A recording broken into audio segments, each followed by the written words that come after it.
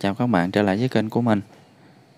À, Hôm nay mình có mua được một cái tay T12 và cái trạm điều khiển của nó. Mình sẽ hướng dẫn các bạn là một cái trạm hàng di động sử dụng pin 18V Pin này rất là thông dụng trên thị trường.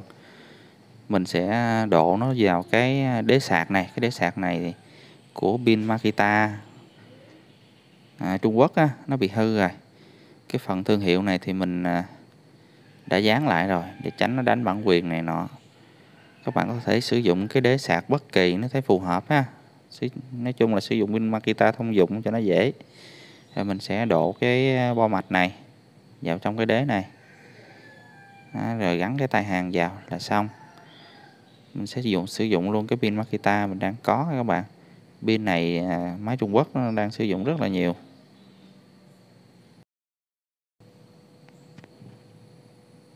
Rồi mình bắt đầu mình tiến hành à, làm thôi ha thì ở đây mình có à, cái bo mạch chạm hàng. Thì mình xem sơ qua thì nó có cái rắc cắm của cái tay T12 có điều khiển. Và cái này là cái nút chỉnh nhiệt độ của nó để mình cài đặt á. Nút này là một cái chiếc áp sung.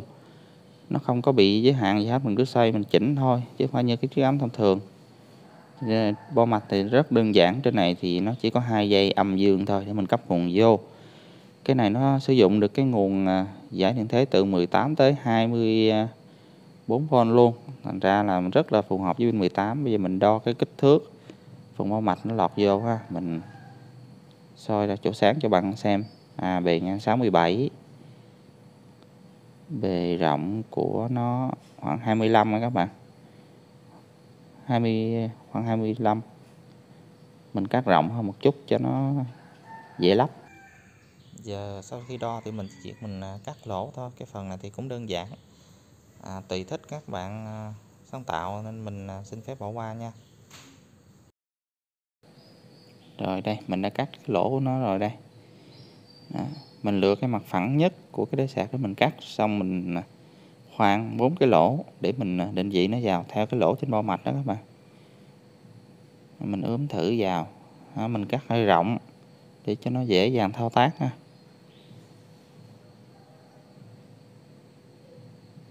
Rồi trên đế sạc thì nó ký hiệu chân âm dương. À, đối với pin Makita ba chân á, thì à, hai chân bìa này là chân âm dương. À, chân mà cặp đôi á, thì bên phía đó là chân dương nữa các bạn. Nếu mà nó không có ký hiệu gì hết thì các bạn à, có thể mở ra các bạn cắm pin vào. Thì các bạn đo thực tế cho nó dễ. À, trường hợp này cũng áp dụng khi các bạn sử dụng các à, loại đế khác thì mình cũng đo thực tế như vậy cho nó chính xác nha các bạn. Chỉ mình cố định tán vào đế sạc để mình lắp mạch thôi. À, mình à, đã cố định đây rồi mình dùng cái keo đổ mạch đó, trong các clip trước mình sử dụng đó các bạn.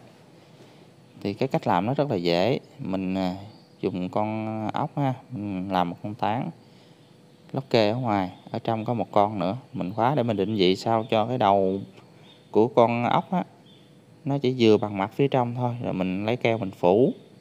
Cố định con tán lại lát nữa nó khô keo mình tháo ra. Thì mình đã có một cái răng để mình mình dặn vô rồi. Đó, mình không phải dùng kềm dít gì để mình mình giữ nó nữa. Rất là thuận tiện ha.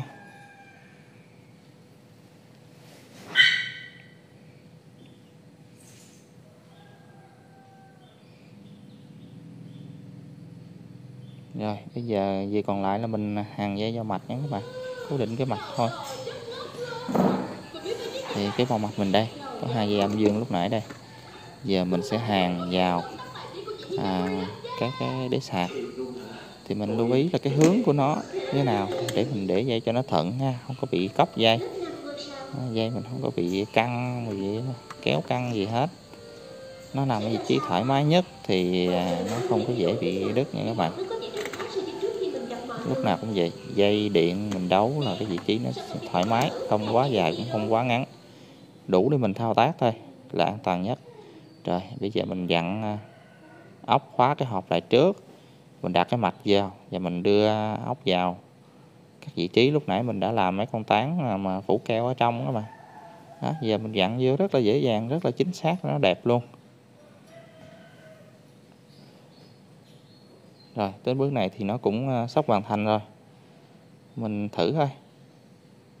Đây, mình lắp pin vào. Mình kiểm tra coi nó lên nguồn chưa nha. Thì cái này ờ, mình lắp pin vào nó tự lên nguồn luôn nè.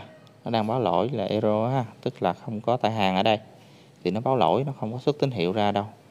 Tỏ là cái mạch này cũng khá thông minh nha các bạn. Bây giờ mình lắp cái tay hàng vào. Các bạn để ý vị trí lắp nó có một cái g định vị đó thì mình phải lắp đúng g đó. À, g được cái ở trên tay hàng và cái à, cắt lắp á thì nó mới vô được.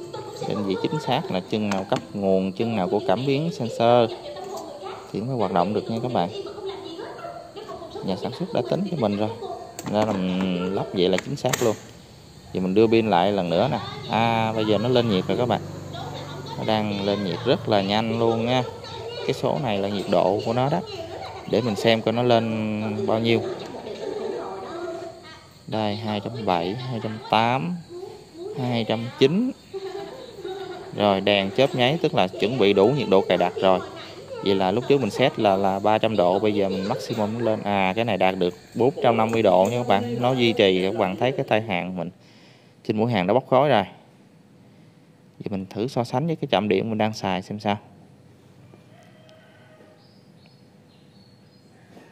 Đây, mình đang sử dụng cái trạm MR705 này ha. Cái trạm này mình sử dụng lâu cũng rất là hài lòng. Tại nó lên nhiệt nhanh và và các mối hàng thông thường của mình nó nó chảy nhẹ lửa. À, các bạn thấy mối hàng cũ mới gì nó cũng ờ, rất là nhanh chóng chảy lỏng ra rất là dễ dàng cho việc mình hàng nha.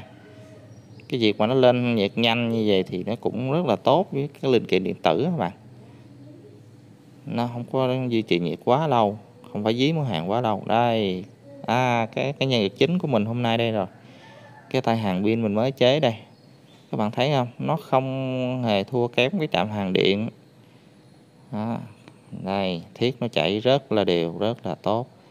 Nó hơn luôn cái trạm hàng điện ở vấn đề là nó di động các bạn trạm hàng này rất ok nhé các bạn. Mua sản phẩm có địa chỉ phần mô tả. Chúc các bạn thành công.